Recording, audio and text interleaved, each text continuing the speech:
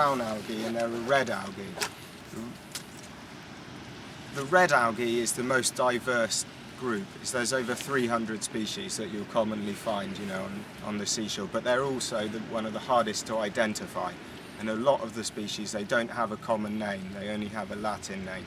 And they're very, very similar, and they're almost, you need a microscope basically to look at the reproductive organs of them to be able to tell a lot of them apart. You know, it's not, it's not worth getting into detail over those. Um, but what you'll find is the green algae, they contain chlorophyll just like the higher plants that you find on land. They will inhabit the higher sort of the higher part of the coast um, because they need to be able to absorb light that's coming down through the water. Um, the water looks blue, therefore you know it's going to be reflecting certain certain um, wavelengths of light. What then what you find are the red and the green uh, the red and the brown algae a bit further down. They also contain chlorophyll, the same as the green algae, but they also, I can't think of what the pigments are called at the moment, the, the, brown, the brown and the red. Um, carotenoids. Carotenoids, yeah? Which, browns or the... They're, they're like the red oranges. Oh, right. All that sort Yeah. Well, the, the red and the brown algae, they still contain chlorophyll, but it's just masked out by the other colours. Um, ask me some questions about something. So if you, I don't know what. can, just can you can, just on that one rock there? So that's what I said. If you went round the back there and sort of face this way, that one rock I can see some red, some brown, and some green on there. So if we talk, but I know desiccated. This is 35% protein. Wow. Yeah, it's really really high in protein. Wow. It's also very very a lot of the seaweeds you'll find they're very high in iodine. They have a lot of minerals in them. Um, they are slightly subject to, to absorbing heavy metals. So when you're foraging, you have to look at, you know, you have to look at your surroundings. You have to pick somewhere that's not estuarine, you know, it's not near river yeah. runoff, it's mm. not near a shipping yard. It's not, stuff, you know, yeah. yeah. You want to find somewhere on an clean. open coastline that's clean you know, you can speak to locals. Promoting. Will that discolour the, you know, when you see, if it is polluted, will it discolour it or will it be exactly what you're seeing there? Sometimes you can see, if you see any sort of film yeah, like a froth. water, yeah, or a froth, froth sometimes, but you do get a protein scum that's landful. you can get a protein scum, which is not inherently any sort of problem.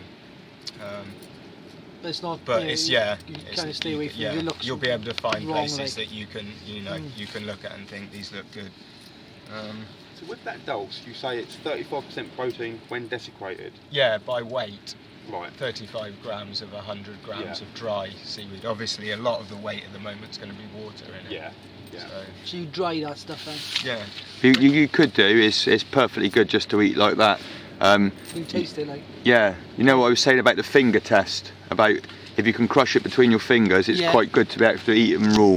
Whereas if something you can't break out with your hands would probably benefit from being cooked, you know, to help sort of right. with the maceration. So if I can't break that up.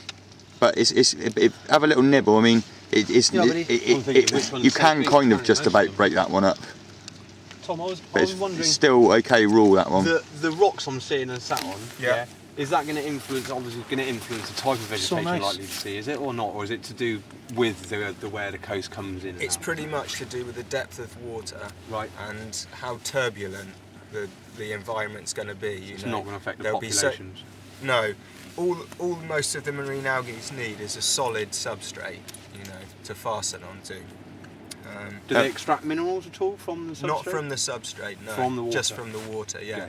But obviously, water that's around certain rocks will be higher concentration of those minerals. You're so talking about substrate. Is that what it, is? What is the substrate? Is that just well, the ground that we're on? Yeah, it's the ground. There's the there's, th there's first, three. Yeah, no, it's what you can see. You literally, see? there's they generally divide the coast up into three main types. That's mud, sand, and rock. Rock you will look for mostly because it's the it's the most diversity of species you mm. can find. Um, second is mud. Uh, there's a high. How, how do you describe it? There's. There's something to cling to. There's, there, in the mud, there's high yeah. biomass of animal, but it's not very diverse. It'll all be polychaete and oligochaete worms, some bivalves and stuff. Whereas sand, very very poor. If you have, if you've only got big sandy beaches, then you're going to be, you know, you can mm. find maybe razor clams, cockles, some bivalves, but in general terms of foraging, it's quite it's quite poor. You want to look for rocky headlands. So you can like like a desert, really, kind of. yeah, It's like very some much so, people, yeah. some mm. in, creatures can't live, but there are a few that can survive. Yeah, So it's like the desert underneath the ocean bed. yeah, mm. Some good, some not. yeah. Cool. Um, what we've got here, you might all recognise this. It's one of the more common, Never seen more common seaweeds. It's ulva, Ulva. which is sea lettuce. They call this. Okay. Eat that raw. Yeah.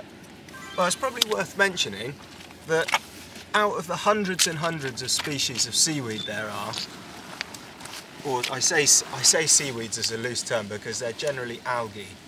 They're not Right. a type. They're not a plant. No. But this They're stuff is more of a seaweed, whereas Yeah, that's no. more of an algae. No, they're No? no, they're all they're all algae. All algae. Yeah. Um, What these are what these are differentiates these are unicell. These are unis. Um, yeah. Is um it, within plants you've got that vascular system we talked about earlier, the phloem and the xylem. These don't have that, and really that was one of the big things that the higher plants are differentiated from. Um, I mean, like you've got your mosses and what have you, Mm. but they're also differentiated because they don't have the flowering organs to like the, the flowering plants. So these are sort of like, yeah, step down again on the. E- evolutionary ladder. Yeah. See, these type of things, it can taste better boiled. Got to soften, surely. Yeah, yeah, they, they go as well cooked, but also just toasted alongside the fire and dried to be taken as a snack for carrying. Um, they toast up really great. Um, things like laver is what they make sushi nori, they're the black seaweed that they use in sheets to make um, sushi. They're like Californian rolls.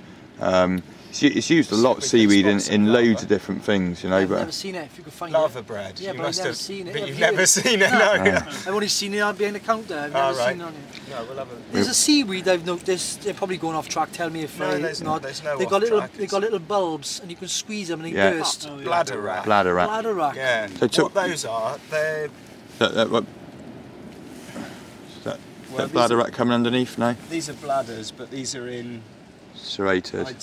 I'd say that that's yeah, Chilted. channel wrack or serrated. Channel, wrack. sorry, that is yeah. Um, but the bladders, they're floats. They're Oh, to help right, the okay, plant. They're to help the plant raise up Hey, and out pockets. and eh? outcompete anything that's growing below it, so Good they can get to the light. That's awesome. So, Um, um, you know, inside that stuff is obviously squirts out. It's just salt water. In here, air. Oh, air. Yeah, it's literally. It's, Air. Good Yeah, have you grief. ever, you ever- I on, on the the bladder wrack that you're talking about is the ones with the great big round Yeah. blistered balls Yeah. in. Um, same family as the wrack. Yeah. Great if you find a big one of those, just snip it off either side. Makes Yeah. a really great fishing float. Awesome idea. You can also tell the there's one there's one one type of wrack that you can tell the age of it because they only they only produce one new pair of bladders every year. So if you can count seven sets of blood, you know. It's like seven- eccentric rings, like. Yeah. Could Most brown algae they only live for up to three years, but. But this one that produces the bladders every every year can be 50, they've recorded 15 year old.